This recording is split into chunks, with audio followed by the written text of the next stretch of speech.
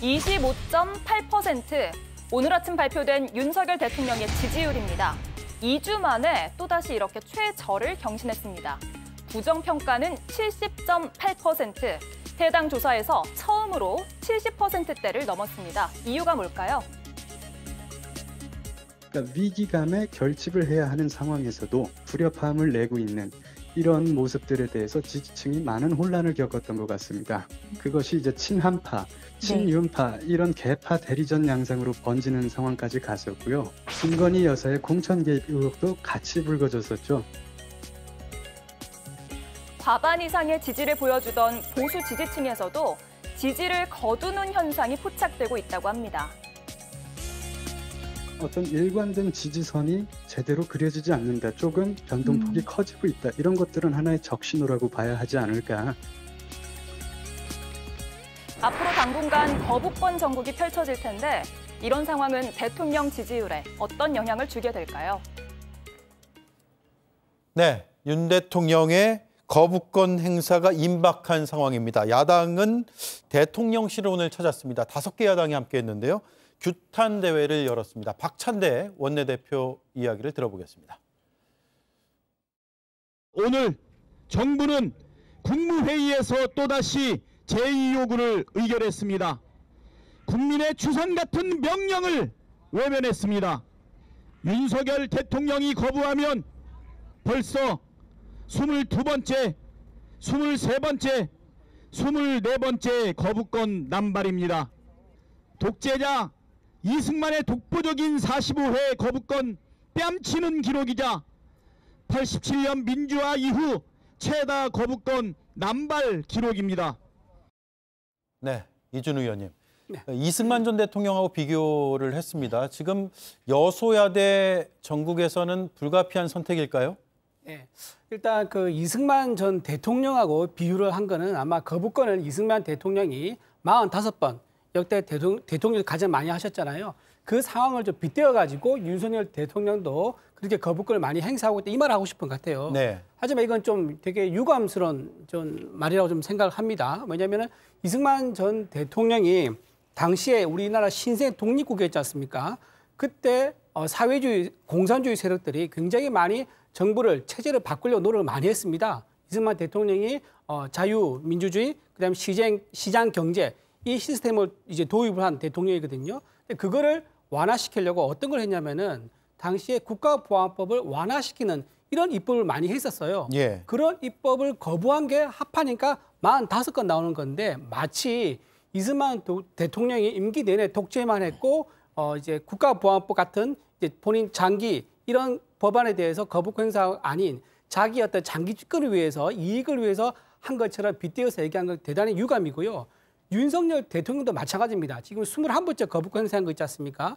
이게 전부 다 무슨 본인의 어떤 권력을 유지하려는 그런 목적이 아니고요. 양곡법이라든가 또는 저기 노란봉투법 등 그러니까 정부로서는 할 수 없는 거 재정 부담이 들어간다든가 또는 이제 예산 편성권을 침해한다든가 이런 입법에 대해서는 당연히 그런 상대방 이제 이재명 대표라든가 또는 다른 사람이 대통령이 되더라도 되더라도 집권당이라 그러면은 그렇게 받을 수 없는 그런 법안들 다 포함하는 거거든요. 그래서 제가 이제 보기에는 어 이제 야당에서는 대통령의 거부권을 일단 숫자를 많이 채워서 네. 마치 이승만 대통령만큼이나 거부권을 많이 행사하고 있다 이런 그림을 만들려고 의도적으로 거부권이 당연시되는 이런 입법을 많이 한 게 아닌가 그런 생각을 좀 합니다. 예, 한덕수 총리가 제2요구권은 대통령의 권한이고 의무라고 강조를 했는데요. 국회를 향해서 나를 세우기도 했습니다. 들어보겠습니다.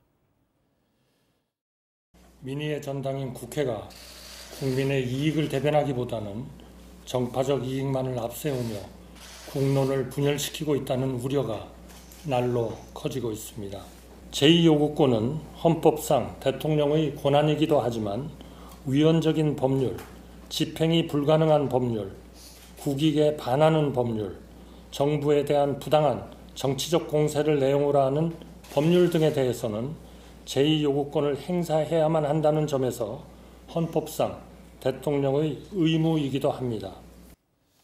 자, 거부권 행사의 숫자를 보면 민주화 이후에는 노태우 전 대통령 7번, 노무현 전 대통령 6번, 이명박 대통령이 한 번, 박근혜 전 대통령이 두번 행사를 했고요. 문재인 대통령은 행사하지 않은 것으로 어, 나타나고 있습니다. 어, 수치만 단순 비교해도 상당히 많은 편이긴 해요. 그렇죠. 뭐 묻지마 거부권을 윤석열 대통령이 하고 계시는데요. 저는 이게 뭐 역대 대통령들과 수치를 갖고 비교할 건 아니라고 봅니다. 아까 뭐 말씀하셨다시피 뭐 이승만 대통령은 뭐 사정이 있었다. 그렇기 때문에 뭐 독재가 아니다. 한데 윤석열 대통령은 사정도 없는데 24번을 해요. 이건 독재보다 더 못한 것이죠. 그렇지 않을까 생각합니다. 그러니까 저는 그래요. 아까 말씀했듯이 한덕수 총리께서 국무회에서 대통령 제2요구권은 대통령의 권한이자 의무다. 맞지요? 법률상. 그런데 그 권한과 의무는 결국에는 대통령의 판단력입니다. 그 판단력이 떨어져서 거부를 하는 것까지 좋고 그 부분에 대해서는 국민들께서 판단을 해서 앞서 얘기했듯이 굉장히 낮은 수치의 지지를 보여주지 않습니까? 그게 스스로 지금 거부권을 행사하는 평가예요. 그러나 다만 국민이 위임한 권력을 가지고 주가 조작 등 범죄 혐의 등으로 불법적 의혹이 짙은 배우자를 보호하라고 위임한 권력입니까? 아니면 본인이 관련될 수 있는 최병 특검, 본인을 방어하라고 위임한 권력입니까? 그건 아니잖아요. 국민이 위임한 권력은 본인과 본인 배우자를 보호하려고 준 게 아니라 국민을 보호하고 공정한 상식, 정의를 세우라고 준 권력입니다. 근데 어떻게 사사로이 공사구분을 못하고 본인과 본인 배우자를 위해서 거부권 행사하는 것들 창피하지 않냐? 그런 측면에서 한덕수 총리는 굉장히 부끄럽지 않은지 묻고 싶고요. 저는 윤석열 정부를 딱 한마디로 규정하면 정, 정말 적생맹 정권이다. 빨간색을 구분하지 못합니다. 아무리 지지율이 떨어져도 이게 빨간색인지 녹색인지 구분하지 못하는 그런 네. 한심한 정권이다. 저는 그렇게 좀 평가하고 싶습니다. 적생맹 정권이다. 발음이 어렵네요. 조국 혁신당은 어쨌든 지금 어, 거부권 행사하면 권한쟁의 심판을 청구하겠다라는 얘기까지 하고 있어요. 네. 헌법재판소요. 그 말씀 드리기 전에 저는 횟수도 중요하다고 봅니다. 그 네. 이승만 대통령이 45회 그런데 윤석열 대통령은 현재 곧 24회가 된다는 거 아닙니까? 이승만 대통령은 12년 재임했습니다. 윤석열 대통령은 아직 절반도 지나지 않았습니다. 재임 기간 기준 역대 최대 최고의 기록을 쌓은 만큼 역대 최악의 대통령이다 얘기할 수 있겠고요. 그 권한쟁의 심판 청구 그동안 얘기는 많이 들어보셨을 텐데 그 헌법재판소 62조를 보면 권한쟁의 심판 종류는 다음과 같다. 국회, 정부, 법원, 중앙선관위 상호 간의 권한쟁의 심판이 있거든요. 여기에 관한 판단은 아직 받아본 적이 없습니다. 네. 예를 들어서 입법권이 침해됐다 해서 국회의원 개개인이 나의 입법권이 침해당했다 심판해달라 이렇게 한 적이 있는데 지금 박은정 의원이 오늘 주장한 거는 그 주체가 개개인의 의원이 아니라 국회 집단 국회의 입법권을 침해한 대통령의 권한을 따져보자는 겁니다. 거기에 대해서 일정한 제한이 있어야 된다는 거고 여기에 대해서 여러 이견이 좀 있습니다. 이게 실효성이 있겠느냐, 어, 혹은 역대 의원들이 개개인이 했을 때 제의결권을 보장하고 기- 있기 때문에 이게 권한 침해한 게 아니다. 이런 판례들을 예를 드는데 이게 거의 최초의 사례여서 어떤 결정이 날지는 좀 지켜봐야 될 것 같습니다. 예. 어, 예. 잠깐만. 예.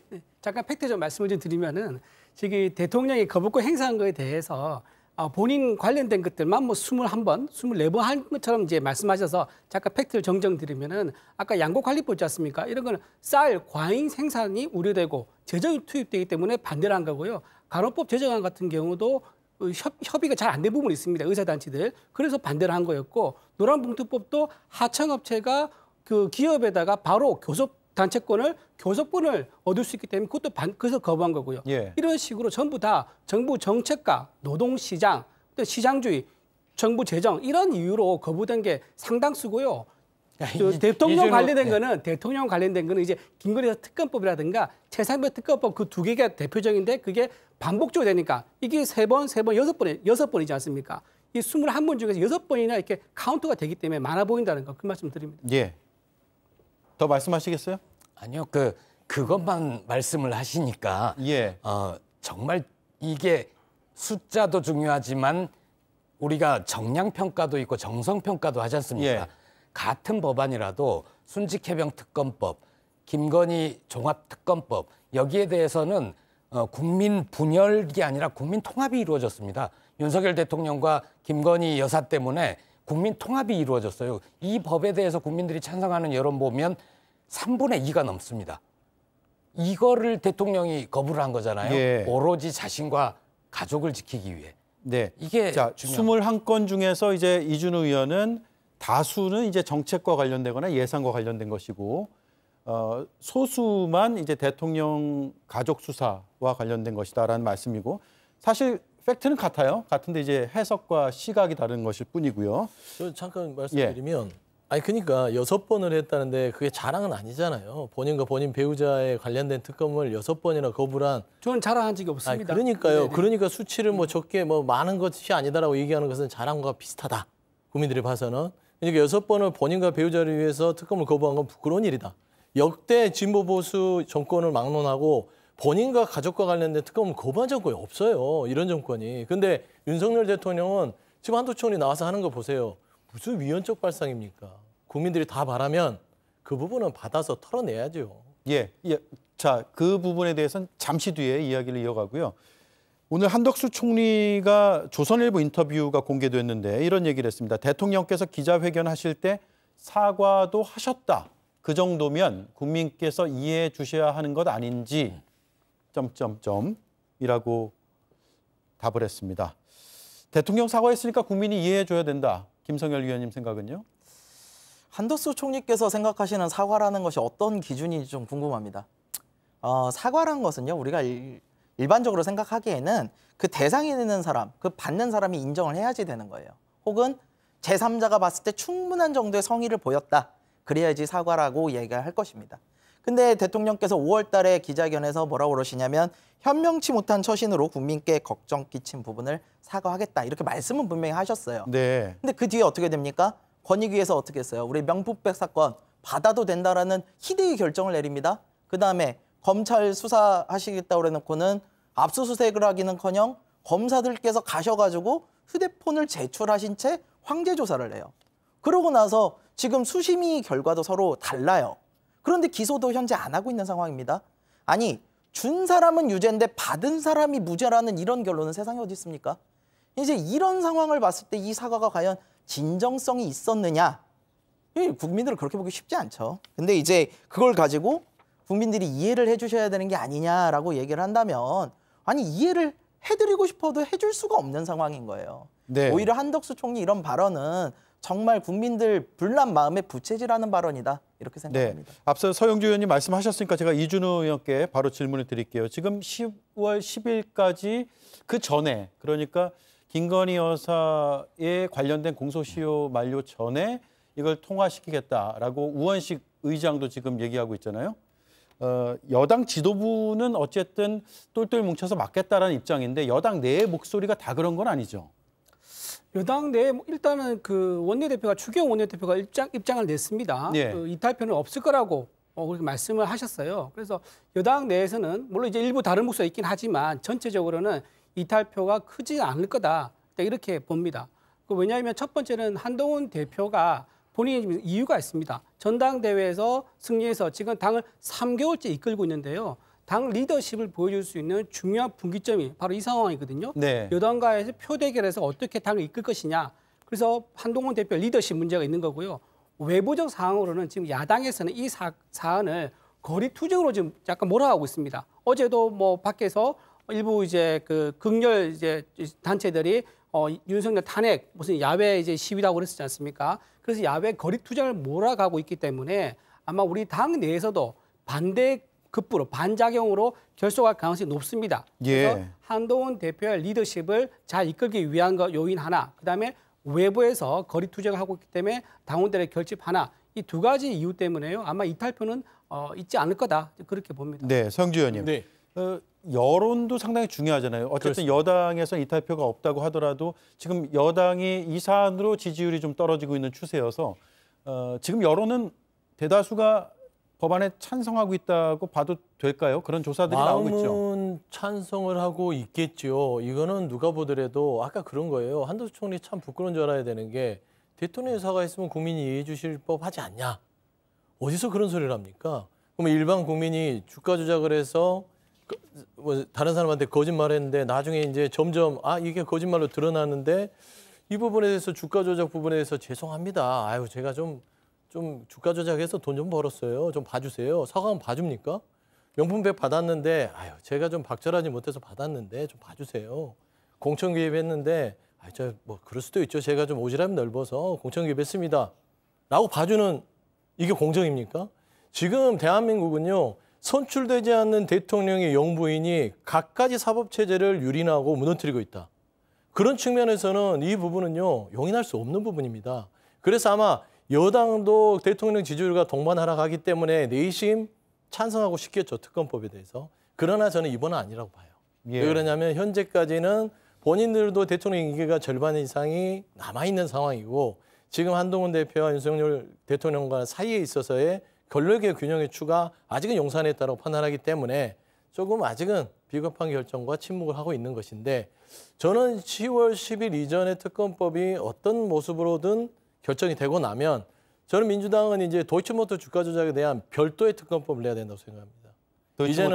종합 특검으로 갈 게 아니라 이거는 도이치모터 주가 조작 사건은 윤석열 대통령과 김건희 여사가 모든 국민들한테 거짓말했던 사안입니다. 본인은 계좌를 이용당했고 자기는 이득이 어떻게 나는지도 몰랐고 그 어떤 주포와 주범들과 연락한 적도 없다라고 했던 게 불과 1년 반, 2년 전. 심지어 윤석열 대통령은 검찰총장 청문회부터 해서 대통령 후보 시절까지 본인은 전혀 김건희 여사가 10원 한 장 이득 본 게 없다라고 거짓말을 했습니다. 네. 그럼 이게 특검을 해야 될 사안 아니겠습니까? 저는 이런 부분에 있어서 그 국민의힘의 의원들이 지혜롭다면 이번에 통과시켜서 특검을 종합으로 가면 좀 살살 맞는 것이고 특검을 불결시켜서 도이치부터 하나만 집중적으로 특검이 된다면 더 이상 피할 수 없는 그런 특검이 될 것이다. 저는 그렇게 좀 말씀드리고 싶습니다. 네. 김보희 의원님. 예. 어쨌든 여덟 표가 이탈표가 필요하고 지금 똘똘 뭉쳐서 어, 이건 반대하겠다고 하는 입장이기 때문에 재표결 해봤자 부결될 게 지금 거의 뻔해 보이는 상황이고 그렇다면 그 다음은 또 어떻게 되는 거예요? 지금 민주당에서는 뭐 도이치모터스 주가 조작에 국한된 또 다른 특검을 다시 하자 이런 얘기까지 나오고 있습니다. 저는 너무 단정적으로 생각 안 했으면 좋겠습니다. 정치에서는 항상 의외의 일들이 벌어지기도 하거든요. 예. 그 한동훈 국민의힘 대표와 윤석열 대통령이 갈등 중입니다. 어, 독대를 신청하느니 마느니 받느니 마느니 가지고 시끄러웠잖아요. 그 독대를 하면서 하려고 했던 얘기가 뭘까요?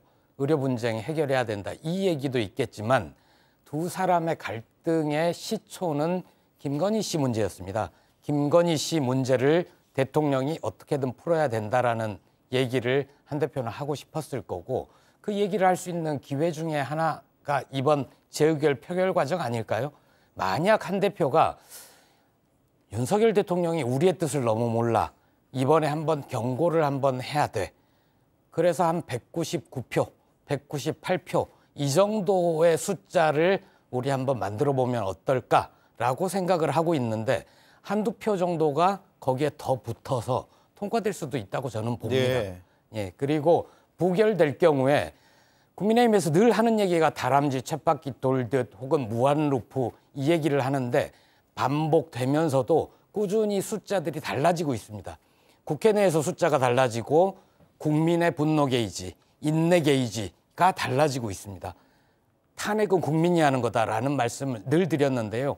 국회가 탄핵 소추를 하고 헌법재판소가 결정하는 것, 그거는 절차를 마무리하는 것이고 결국 국민이 탄핵을 결심하는 거다. 거기에 저는 이러한 절차들 계속 제2 거부권 행사하고 제1개월 실패하고 다시 또 국회가 도전하고 이런 것들이 그런데 다 도움이 될 거다. 이렇게 봅니다. 예.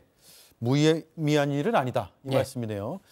자, 그 리얼미터 대통령 지지율 나온 그래프를 다시 한번 띄워서 보겠습니다. 이준우 의원님, 지금 네. 여당에서 오늘 이 수치 보고 많이 놀랐을 것 같아요. 어떤 이야기들이 나왔습니까? 네. 어, 일주일 전에 어, 이제 비교하면은 어, 상당히 좀 간격이 벌어졌죠. 벌어졌는데 저는 이게 지금 민주당에서 사실 뭐 아주 얄미울 정도로 전략적으로 어, 여당 공격을 어쨌든 어, 유효타를 날리고 있다 이렇게 이렇게 보여집니다. 일단 김건희 여사 건에 대해서 계속 확장하고 있고 또 명태균 씨 건이 새로 나왔지 않습니까? 명태균 씨의 이제 공천 개입 관련 의혹이 있다고 제보가 나왔고 네. 거기에 대해서 김건희 여사를 끌어들였기 때문에요. 아마 거기에 대한 반작용으로 지난주에 비해서 이제 좀 더 지지율 떨어진 게 아닌가 이렇게 보여지는데 제가 생각하기는 이거 전국 돌파는요 집권 여당이 아니라 오히려 좀 야당이 있다고 봐요. 지금 11월 중순 그리고 11월 말 또 12월 초죠. 이때 되면은 어, 이재명 대표의 1심 선고가 나옵니다. 그 나오게 되면 오히려 그걸 계기로 해가지고 분기점이 돼가지고요. 전국이 오히려 좀 정리가 되지 않을까. 그리고 조국 대표도 마찬가지죠. 조국 대표도 12월 안에 아마 대법원 확정 판결 나올 걸로 예상이 되고 있거든요.